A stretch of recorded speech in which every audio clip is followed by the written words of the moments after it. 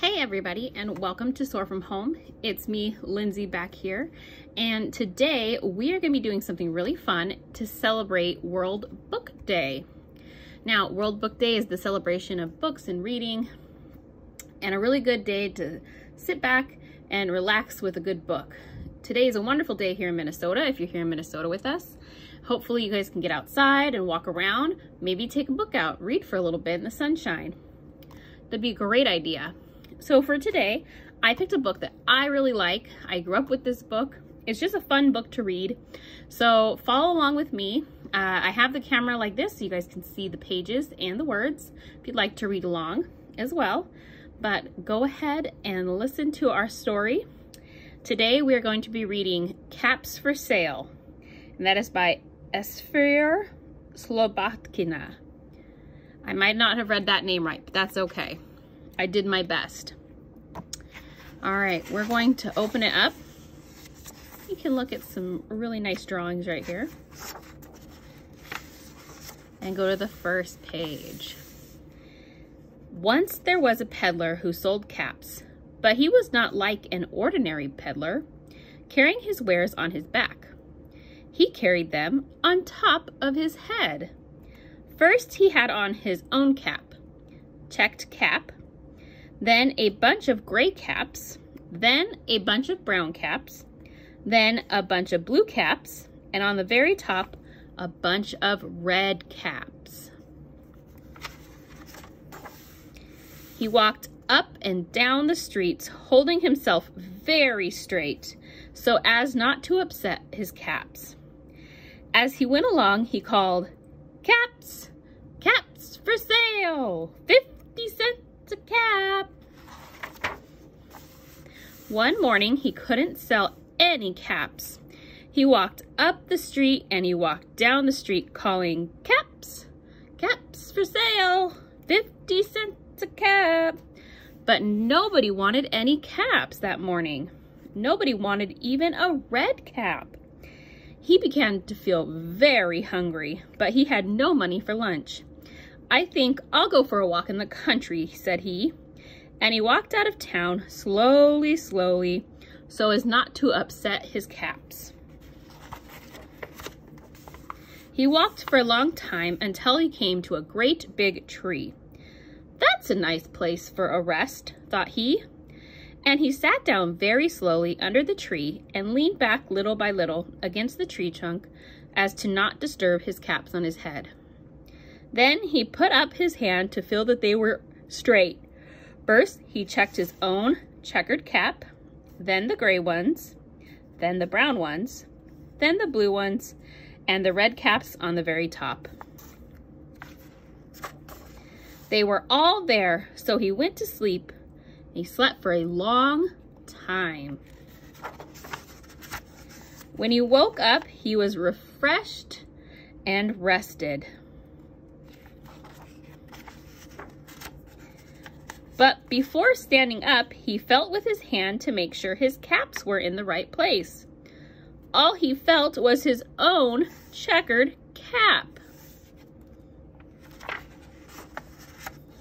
He looked to the right of him, no caps. He looked to the left of him, no caps. He looked in back of him, no caps. He looked behind the tree, no caps. Then he looked up into the tree. And what do you think he saw? On every branch sat a monkey. On every monkey was a gray or a brown or a blue or a red cap. The peddler looked at the monkeys. The monkeys looked at the peddler. He didn't know what to do. Finally, he spoke to them. You monkeys, you, he said, shaking a finger at them. You give me back my caps. But the monkeys only shook their fingers back at him and said, t -t -t This made the peddler angry. So he shook both hands at them and said, You monkeys, you! You give me back my caps! But the monkeys only shook both their hands back at him and said, Tch, tch, tch.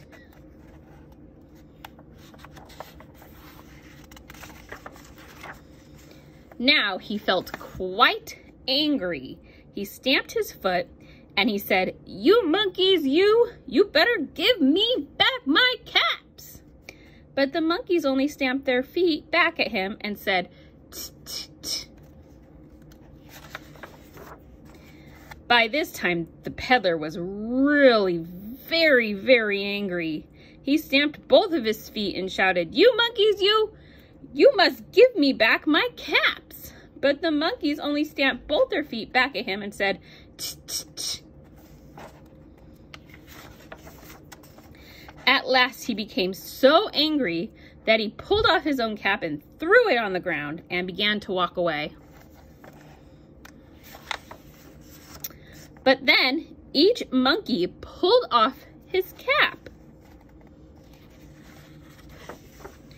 And all the gray caps, all the brown caps, and all the blue caps, and all the red caps came flying down out of the tree. So the peddler picked up his caps and put them back on his head. First, his own checked cap. Then the gray caps, then the brown caps, then the blue caps, then the red caps on the very top. And slowly, slowly, he walked back to town calling, caps, caps for sale, 50 cents a cap. The end. So I hope you guys enjoyed this we learned to problem solving and getting angry, that didn't help. It helped when the person was ready to go away and he was calming himself down, that then the problem solution uh, met him. So this is a really fun book.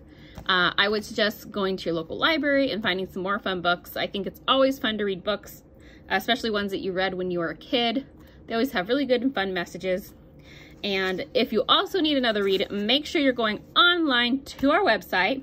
We are www.projectsoarmn.org and we do recreational programming for adults with disabilities.